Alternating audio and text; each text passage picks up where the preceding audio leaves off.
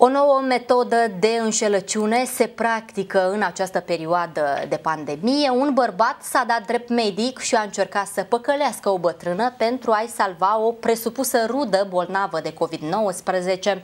El i-a promis un aparat de ventilație în schimbul sumei de 20.000 de lei. Femeia în vârstă de 74 de ani i-a spus bărbatului că nu deține banii necesari, moment în care acesta a întrerupt conversația. Imediat după ce a încheiat încheiat conversația cu presupusul medic, femeia și-a sunat copilul pentru a afla dacă acesta are într-adevăr o problemă. După ce a aflat că este bine, a făcut plângere la poliție. Aceasta nu este însă singura metodă la care apelează escrocii în perioada pandemiei. Zilele trecute, polițiștii secției 4 Poliție Urbană Iași au fost sesizați de către o femeie despre faptul că a fost apelată de tele, pe telefonul fix de către un necunoscut care a pretins că este medic și i-a transmis că fiul său este internat în spital având o afecțiune destul de gravă și are nevoie de un aparat de ventilație.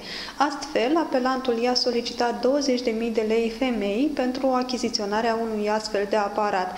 Întrucât aceasta i-a transmis că nu are suma de bani, apelantul a încheiat conversația imediat.